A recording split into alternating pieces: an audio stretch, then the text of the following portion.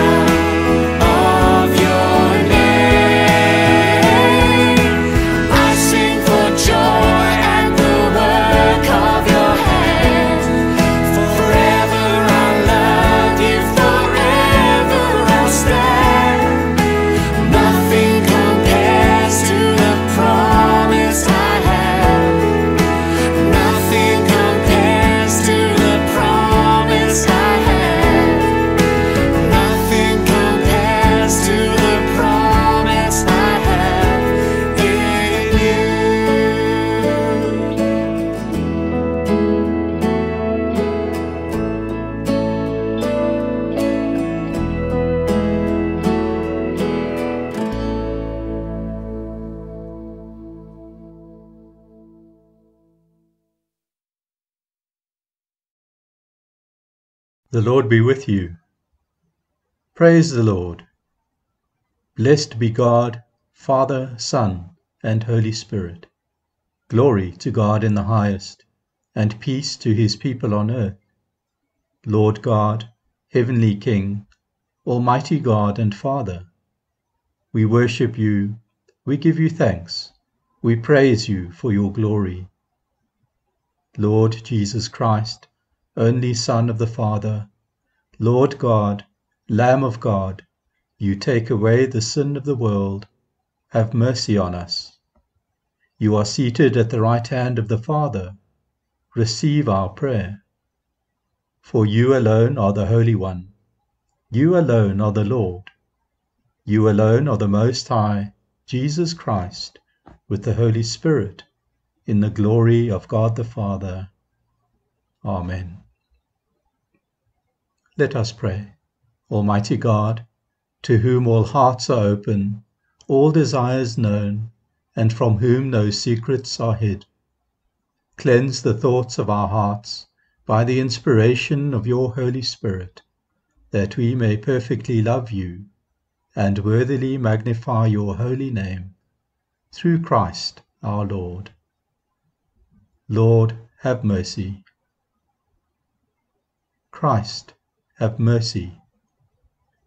Lord, have mercy.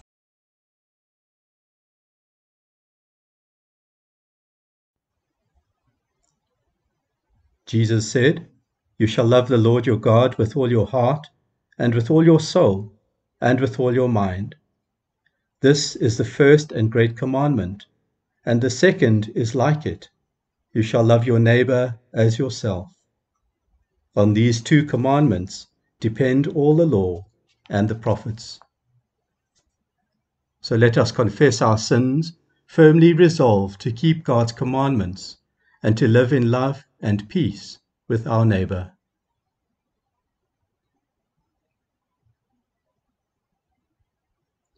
Almighty God, our Heavenly Father, in penitence we confess that we have sinned against you through our own fault, in thought, word, and deed, and in what we have left undone.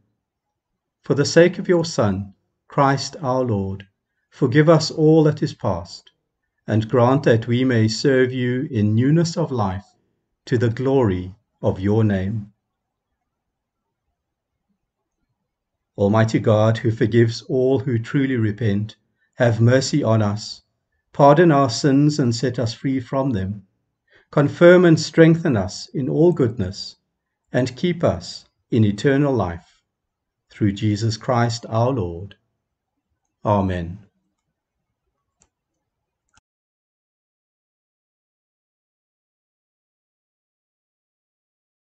The first reading comes from 2 Samuel chapter 11 verse 26 to chapter 12 verse 13a. When Uriah's wife heard that her husband was dead, she mourned for him. After the time of mourning was over, David had her brought to his house, and she became his wife and bore him a son. But the thing David had done displeased the Lord. The Lord sent Nathan to David. When he came to him, he said, there were two men in a certain town, one rich and the other poor. The rich man had a very large number of sheep and cattle, but the poor man had nothing except one little ewe lamb he had bought. He raised it, and it grew up with him and his children. It shared his food, drank from his cup, and even slept in his arms. It was like a daughter to him. Now a traveller came to the rich man but the rich man refrained from taking one of his own sheep or cattle to prepare a meal for the traveller who had come to him. Instead, he took the ewe lamb that belonged to the poor man and prepared it for the one who had come to him. David burned with anger against the man and said to Nathan, As surely as the Lord lives, the man who did this must die.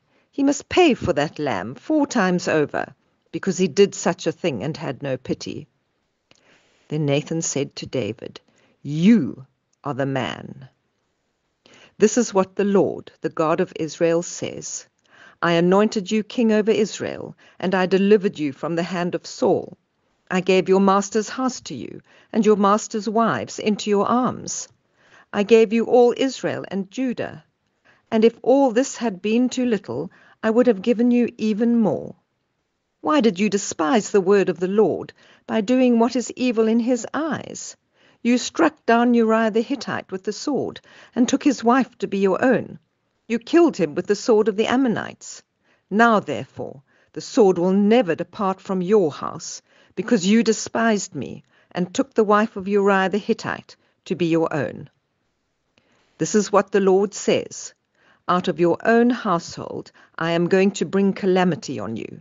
Before your very eyes I will take your wives and give them to the one who is close to you, and he will sleep with your wives in broad daylight. You did it in secret, but I will do this thing in broad daylight before all Israel.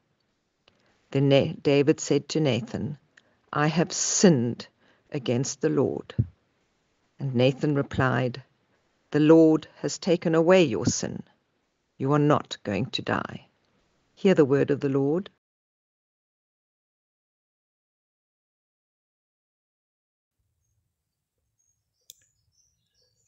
Psalm 51 Have mercy on me, O God, in your enduring goodness, according to the fullness of your compassion. Blot out my offenses. Wash me thoroughly from my wickedness, and cleanse me from my sin. For I acknowledge my rebellion, and my sin is ever before me. Against you only have I sinned, and done what is evil in your eyes. So you will be just in your sentence, and blameless in your judging. Surely in wickedness I was brought to birth, and in sin my mother conceived me. You that desire truth in the inward parts, or teach me wisdom in the secret places of the heart. Purge me with hyssop, and I shall be clean. Wash me, and I shall be whiter than snow. Make me hear of joy and gladness. Let the bones which you have broken rejoice. Hide your face from my sins, and blot out all my iniquities. Create in me a clean heart, O God, and renew a right spirit within me. Do not cast me out from your presence. Do not take your Holy Spirit from me. O give me the gladness of your help again, and support me with a willing spirit. Glory to the Father, and to the Son, and to the Holy Spirit, as it was in the beginning, is now, and will be forever. Amen.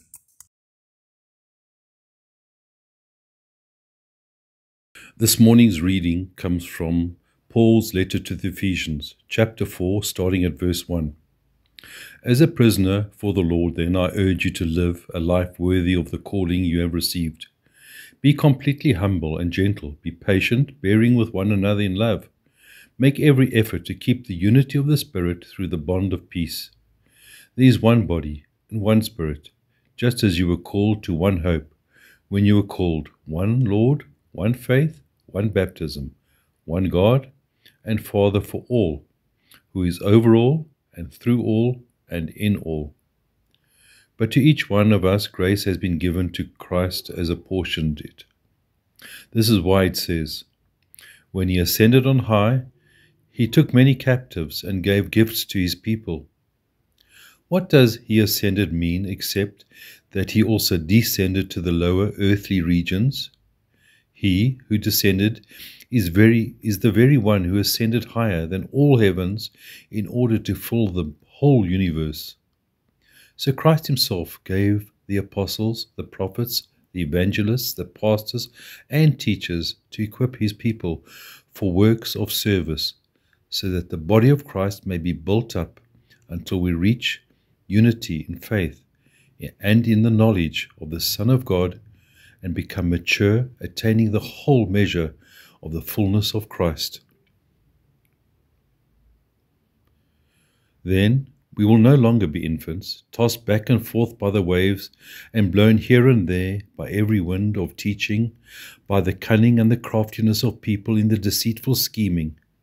Instead, speaking the truth in love, we will grow to become, in every respect, the mature body of Him who is the head, that is, Christ. From him the whole body, joined and held together by every supporting ligament, grows and builds itself up in love as each part does its work. This is the word of the Lord.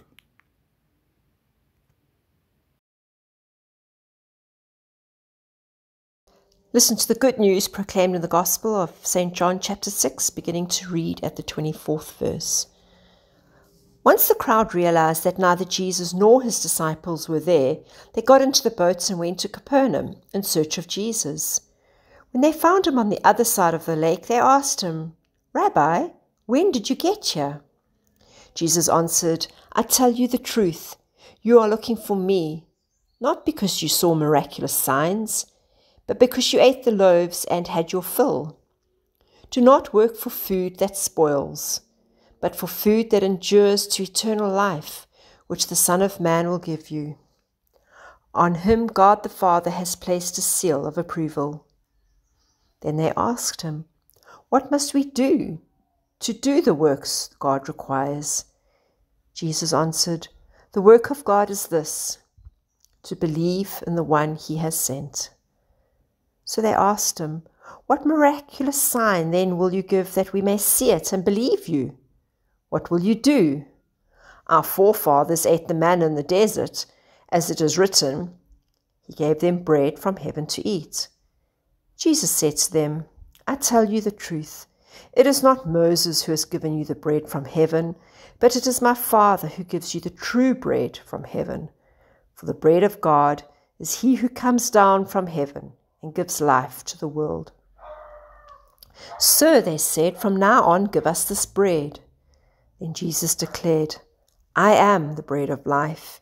He who comes to me will never go hungry, and he who believes in me will never be thirsty. This is the gospel of Christ.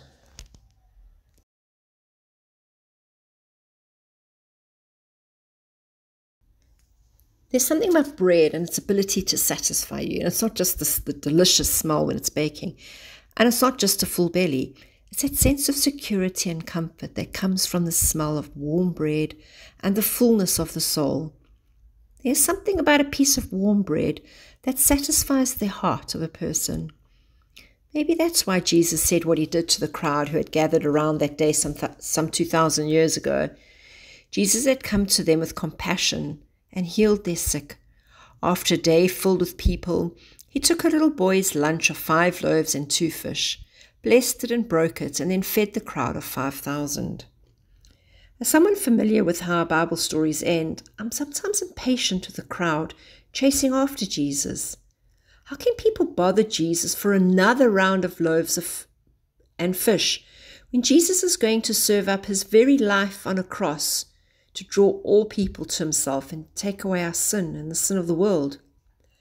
With Jesus, I find myself thinking, not work for the food that perishes, but for the food that endures for eternal life, with the Son of humanity, which the Son of Humanity will give you. And that's from John 6, verses 27. Then I contemplate the story through the realities of our world. As long lines for humanitarian aid demonstrate, Eating your full one day does not mean that you'll be not be hungry the next. When there is no food and you do not know how you will sustain your life today, what is the point of working for eternity? Think of parents whisking their children out of their beds in Gaza or Central Africa on the promise of a better life, only to watch their kids starve to death or get blown to bits in the desert. Some things are worth complaining to God about. Sometimes asking God for assurance that God is still with us is understandable, even appropriate. When Jesus answered, Very truly I tell you, you are looking for me, not because you saw signs, but because you ate your fill of the loaves. I don't think Jesus was scolding the crowd for seeking bread because they were hungry. I think Jesus was disappointed that the crowd did not expect more not more bread, but something more. Perhaps Jesus was thinking more about ending hunger than serving up more bread. Moses and Aaron, not to mention God, may have been disappointed that Israel did not expect more. Not an Egyptian deli in the desert, but that the God who delivered them from slavery would also sustain them in the desert. This is easy to see and even easier to say because we know the, the end of God's story for us and for the world as well as for the people in the world. Manna, quail, promised land. Suffering, death, resurrection, water, word, table, abundance, and eternal life. So, why don't we expect more from God? Why do we settle for signs of God's grace, bread from whatever source, rather than seeking and expecting God's immortal love for us? Could it be that we work for the food that perishes rather than the food that endures for eternal life, which the Son of Humanity gives us? Because we are unwilling or unable to name what we truly hung- hunger for and seek? Why do you suppose this is? Fear of being disappointed? A need to somehow protect God? And clarity that we are not deserving all come to mind. And why do we assume that we have to work to get what we truly hunger for and seek? With the crowd, we assume that the key question when God, when we encounter God is from John 6 28, what must we do to perform the works of God? Along with how much is enough? And how do we make sure we do it right? These questions press even harder when the stakes are war and peace, safety and security, food, water, and health care, the economy and the environment. What must we do to perform the works of God? Jesus responds to us as he did the crowd. In John 6:29 we read, "This is the work of God, that you believe in him whom God has sent." To believe is to trust that God is doing something new that human created conditions and circumstances cannot undermine or negate. To believe is to submit everything, even our highest stake issues, to God's saving work in Jesus. To believe is not so much what we do as being open to what God is doing. Of course, being open to what God is doing and submitting everything to Jesus means we might not do what is wise, practical, advantageous, safe. In fact, being open to God and submitting everything to Jesus means that our doing is less important because we are not in charge, let alone in control. Now, if we're going to give up all control, we need some assurance, some guarantee. Perhaps we can understand the crowd, the crowd asking, what sign are you going to give us then, so that we may see it and believe you? Since the crowd is looking for a political king like David and a prophet like Moses, what better sign than manna in the wilderness? Moses gave manna to their ancestors, and their ancestors believed. But Jesus points out that God, rather than Moses, fed the people in the wilderness. What made the feeding of a sign was not the manna, but the manna came down from heaven.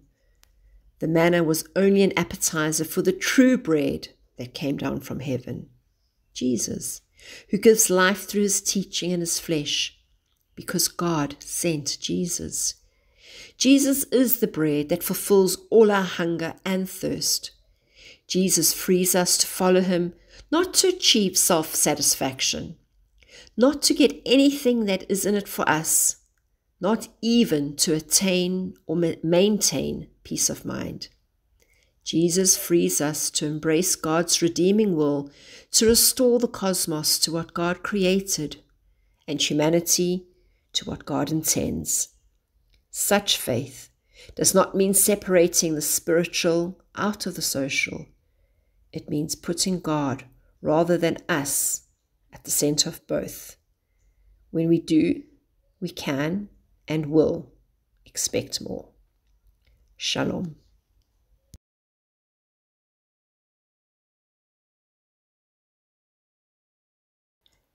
Let us pray.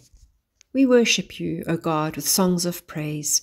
We worship you with words of prayer and with ears that listen for you to speak your saving truth into our lives. We worship you in the silent spaces where we struggle for hope and for courage. We long for a glimpse of your glory, the glory that shines in the darkness, and the darkness cannot overcome it. The glory that touches lives with a beauty so holy that it heals the wounded soul. the glory that gives strength to the weary. We who stumble and fall so often worship you, longing for your light to shine upon us. Dazzle us with your holy love. Draw us into your purifying presence. Speak to us your transforming truth. Then grant us grace to live every moment changed by such glory, daring to live with hope and courage and love, reflecting the life of Jesus, through whom your glory shines in the most unexpected ways. Through the, in the name of your Son, Jesus Christ. Amen.